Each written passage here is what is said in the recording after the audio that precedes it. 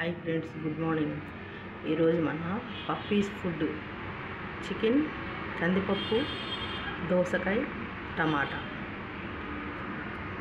బాగా ఉడికాలి. మెత్తగా ఉడికిన తర్వాత నీళ్ళు పోసి మరిగిన తర్వాత కొంచెం పసుపు వేయాలి.